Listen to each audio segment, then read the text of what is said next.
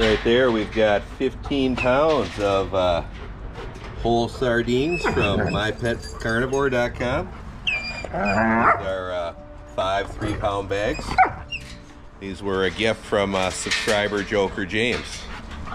Right here we got uh, Badge. From left to right we got Toki. The jumping maniac is Ryuk. Kurgan, Toki, and uh, K-Bar. This is going to be a pack feeding. When I do these, I like to have more food than I have dogs and do spread it all around the yard. If you hold on for a second, I'm going to do that and we'll be right back. All right, I've got that 15 pounds of uh, whole sardines spread around the yard. Again, I like to spread it around. It keeps one dog from being able to hoard it all. And I like to put out more than uh, food uh, than I have dogs uh, to prevent that also. Let's go.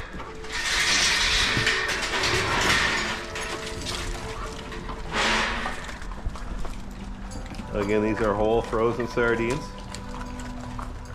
Uh, Ryuk, you see, will eat like a maniac. He's a rescue dog. When I got him, he was pretty underweight in that. And when we have a high value food like this, he likes to make sure he gets enough. Badge eating some over there. K-Bar, Toki, and Ukla. So I always say in my videos, I like to pet and handle my dogs when they're eating. It teaches them not to be food aggressive.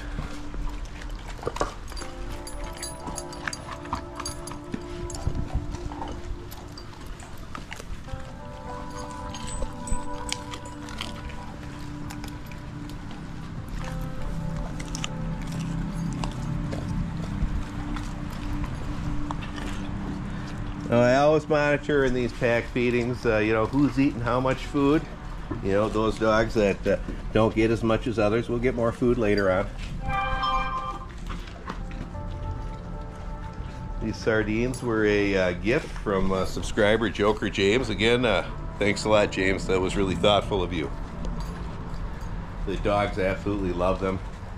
I think they're Ryuk's favorite fish. Again, uh, when you get a high value food item like this, he likes to make sure he's getting enough of it.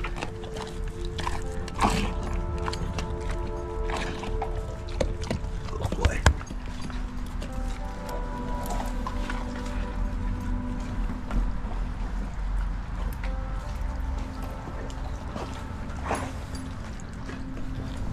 Girl. Any Badger telling me thank you. For those who will ask, yes, these fish have bones in them. You don't have to worry about fish bones with dogs or chicken bones or any kind of bones uh, as long as those bones are raw. It's uh, cooked bones that are dangerous, and that's because cooking the bone changes the consistency of the bone. It makes it hard, brittle, and indigestible, and that in turn makes it prone to both uh, obstructions and perforations of the bowel. Raw bones won't do that. Again, you have mammals of all shapes and sizes uh, that eat uh, raw fish and uh, bird bones as a regular part of their diet uh, with absolutely no issue.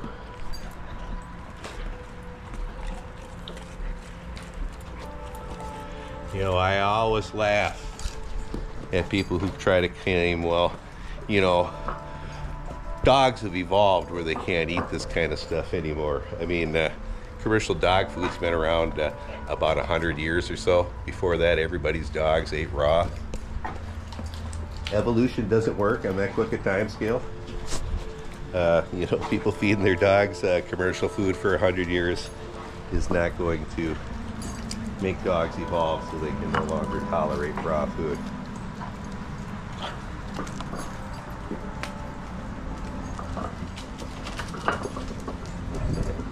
Snatched up the last fish there. Badger's finishing up one. For those who will ask, uh, Lobo and Ulu are in the house eating some fish. Lobo's got a low, low food drive, and in these settings would rather play with his ball, so that's why he's inside.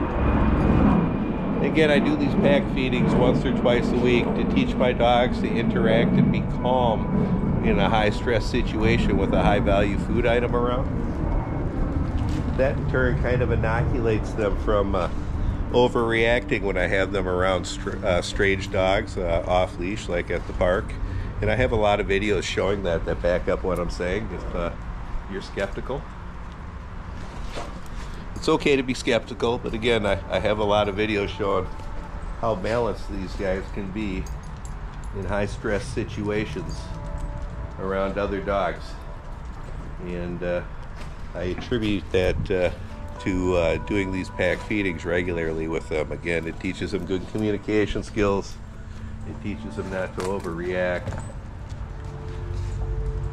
And, uh, you know, if you follow this channel, I've got over 4,000 uh, videos showing uh, dog after dog being raised here, uh, you know, using some of my methods and uh, philosophies on uh, how to do that. And you can see they all come out to be very well adjusted, well balanced dogs in a variety of situations. But don't take my word for that. I'm just some guy on YouTube.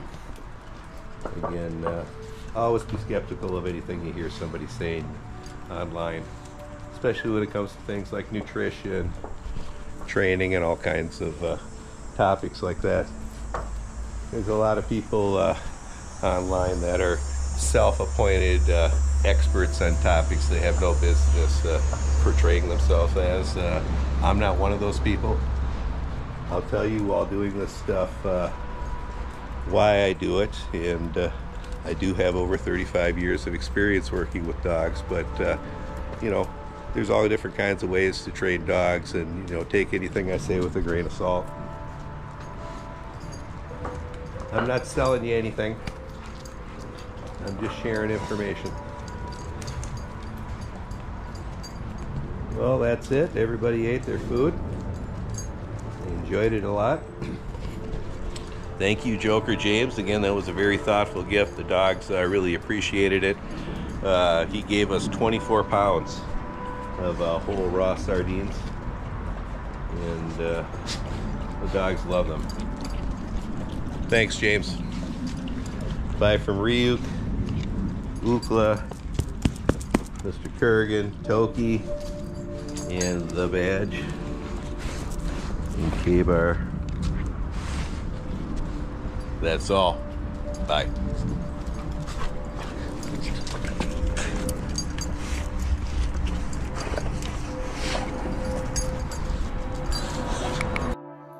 Thanks for watching. Check out our merch store down below.